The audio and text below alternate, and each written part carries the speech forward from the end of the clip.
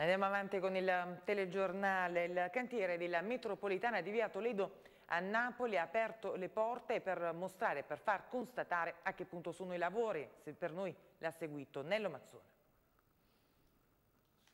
Due giorni fa la talpa sotterranea ha demolito l'ultimo diaframma della galleria di collegamento sotterranea tra via Toledo e via Monte Oliveto della nuova stazione Toledo della metropolitana di Napoli sulla tratta Dante-Garibaldi della linea 1 e la stazione progettata dall'architetto portoghese Tusquet costata circa 70 milioni di euro sta prendendo forma in vista dell'inaugurazione prevista per i primi mesi del 2012 un'opera realizzata dal consorzio Astaldi Spamoccia che scende fino a 40 metri nel ventre di Napoli sotto il livello della falda falda. I lavori infatti hanno dovuto tenere in debito conto anche le difficoltà create dal forte dislivello tra i quartieri spagnoli e via Diaz, oltre alle condizioni in cui si trovano le fondamenta dei palazzi circostanti.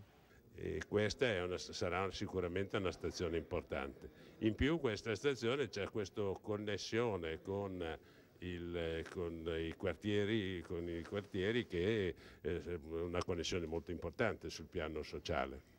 Un intervento da circa 70 milioni di euro, difficoltà anche per la presenza della falda acquifera e soprattutto anche la scelta cromatica eh, proprio per la presenza della falda acquifera. No, eh, naturalmente questa stazione ha avuto problemi di tutti i tipi, è veramente innanzitutto una grossa opera di ingegneria perché abbiamo, è stata costruita avendo perennemente una pressione di 3-4 atmosfere eh, in ogni punto. Nuovo importante intervento alla stazione eh, Toledo, quali sono i tempi eh, per quanto riguarda l'apertura della stazione? I tempi dovrebbero essere tra il 2011 e il 2012.